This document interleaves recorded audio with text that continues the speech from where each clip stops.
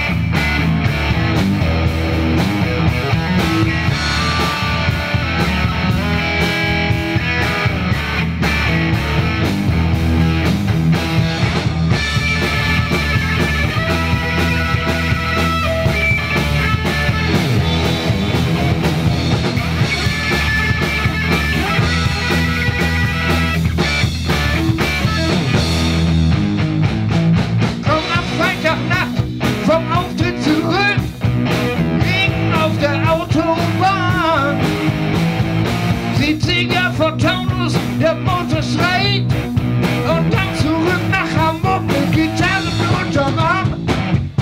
Alte Autos und Rock'n'Roll Komm mit mir immer zu spät, Baby. Alte Autos und Rock'n'Roll. Der Rock'n'Roll rollt und das Auto steht. Den Mädchen am Montag.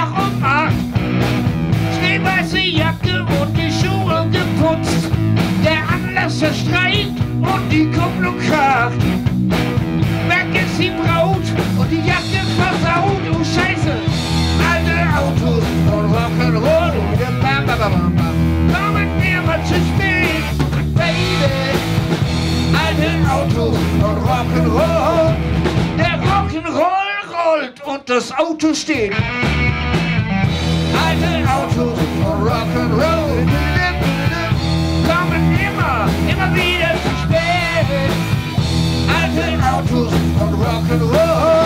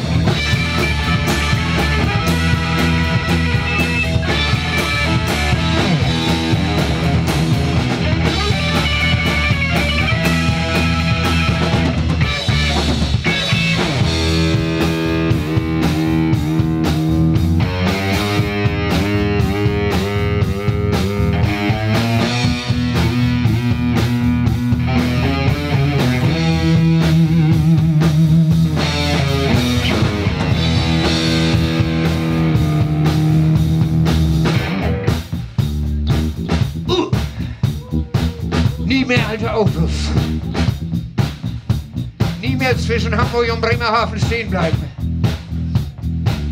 Lieber unser guten alten Freund und Bassisten Martin Hofbauer, ja.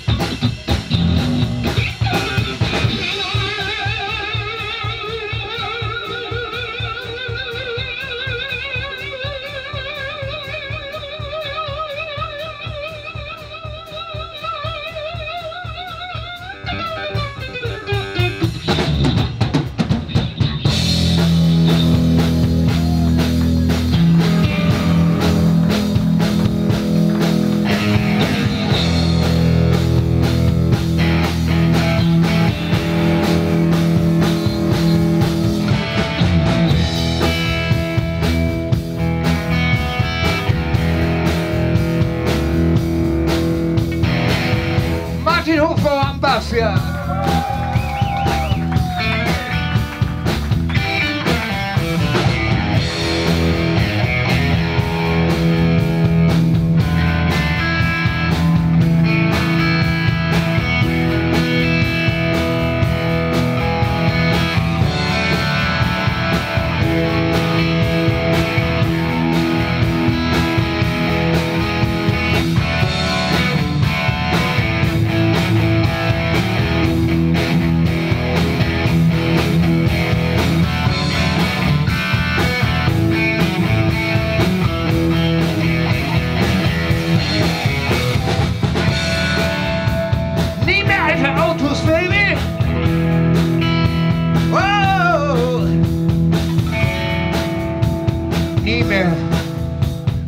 zwischen Bremerhaven und Bremen stehen bleiben.